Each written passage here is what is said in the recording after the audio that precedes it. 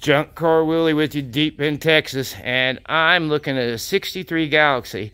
These cars are for sale, as you'll see in the other videos. This one has a little interesting story.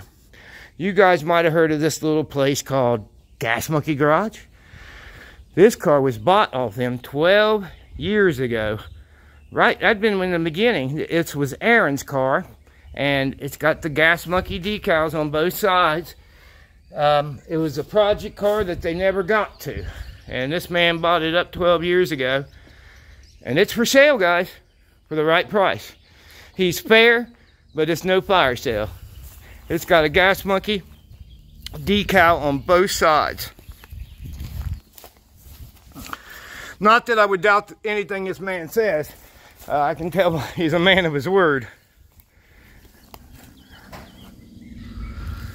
Yeah. That is cool story.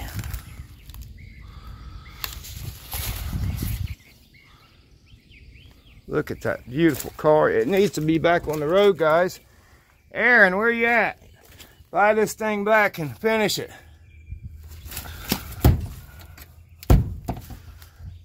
You need that thing back, Aaron. that is definitely cool. What's it got in it? Oh, nothing. I was asking myself. It'd probably have the uh, 390 in it. Probably 352. 352. should have an emblem on the front.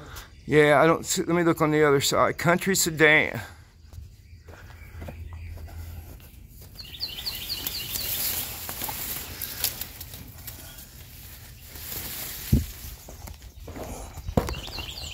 Down, guys. Watch where you're going, Willy. Is that not cool? That's just a cool story right there and it's for sale. For sale. Keep being you.